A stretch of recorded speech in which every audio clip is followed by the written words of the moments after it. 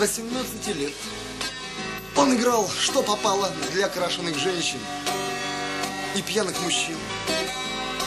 Он съедал в перерывах по паре холодных котлет. Музыкант полысел, он утратил талант, появилось немало морщин. Он любил тот момент, когда включат свет и пора убирать инструмент. А после игры, намотав на кулак электрические шнуры, он вставал у окна, и знакомый халдей приносил ему рюмку вина.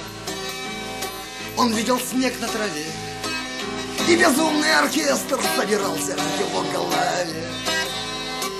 Возникал дирижер, приносил лед минор и горячее пламя мажор.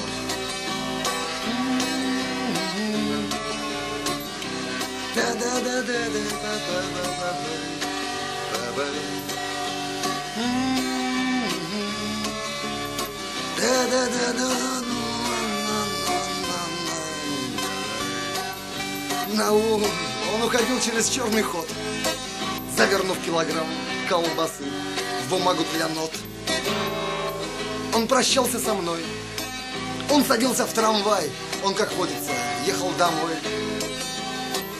Из всех новостей самой доброй была только весть об отъезде детей.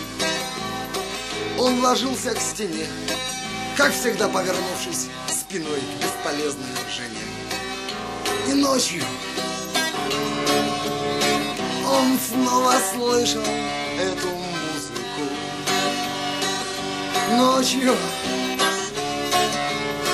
он снова слышал эту музыку.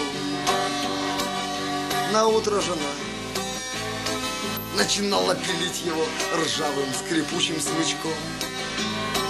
Называла его паучком и ловила дырявым семейным сачком. Он вставал у окна, видел снег и мечтал о стакане вина. Было много причин, чтобы вечером снова удрать и играть для накрашенных женщин и их безобразных мужчин. Он был дрянной музыкант, но по ночам он слышал музыку. Он спивался у всех на глазах,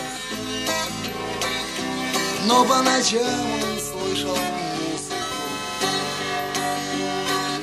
Мечтал отравить керосином жену, но по ночам